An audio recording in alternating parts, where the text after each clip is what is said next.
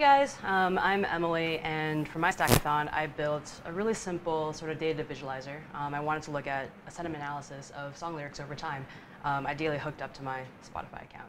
So do a demo real quick. So you can see on my Spotify right now, I'm listening to At Last by Etta James.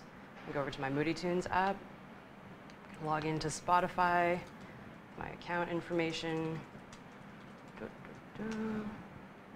I'm going to pull up a sentimentagram, which is my nickname for a plot of sentiment over time. You can grab the current song, again, playing from my Spotify account. When I hit generate, it creates this interesting little chart. Um, so this is sort of a line-by-line -line analysis of the sentiment. So Google natural language processors, positive, negative, neutral. Um, I guess the sentiment of the song line by line over progression through it.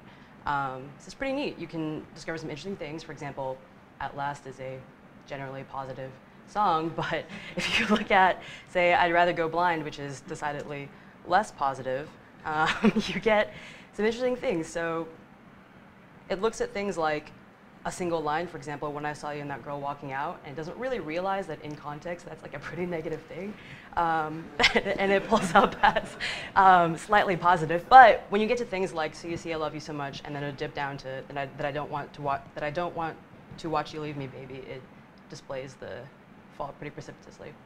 Um, yeah, so this was um, an exercise in APIs. I've talked to the Spotify API a whole lot. It talks to the lyric get node module, which pulls the lyrics from Wikia.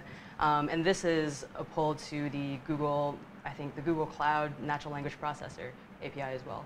Um, these charts are done in, not in D3, but in an open source library called Victory, um, which is a really convenient wrapper around D3 that makes it interact with React really, really well. I'd recommend it if you're looking into visualizations for a capstone. Um, and other things, so Spotify's API is incredibly rich. There's some really fun things you can do with it.